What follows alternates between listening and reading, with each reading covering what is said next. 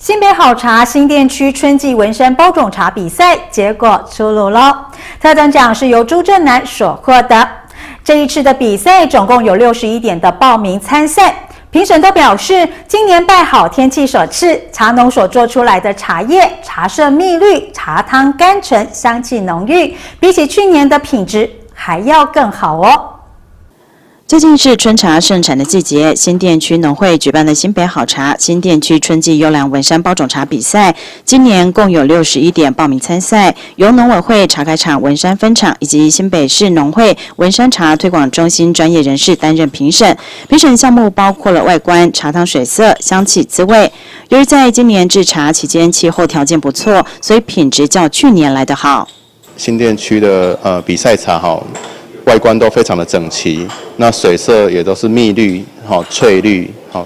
那在滋味上面的话，好整体上都是非常甘甜、富有活性，好，那因此今年的品质基本上整体上非常的呃，算是非常的好。今年的气候环境都非常的好，是这几年来的好天气，所以茶青状况都应该普遍来说，整个文山茶区都非常不错，所以今年的茶的。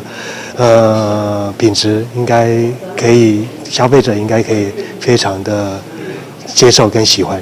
蜜绿色的茶汤加上优雅的花香，还有入口甘醇的茶汤，正是文山包种茶最大的特色。所以今年的茶叶品质一定不会让消费者失望。另外，新北市农会文山茶推广中心主任赖雪成指出，这次参赛的茶叶都有一定的水准，只有少部分在烘焙时略有忽略，下次可以多加注意。有一两个茶就是烘焙的这个透度还不是很足，那这一点可能要稍微加强一下，以免消费者买回家之后可能在半年一年之间就走味。新店农会常务监事周兴旺表示，既有公开透明化的比赛，一方面有专家为品质把关，同时也可以帮茶农提升收益。比赛一出来就是有等数的关系呀。啊，也有公信力啊！你自己卖的话，就比较没有公信力。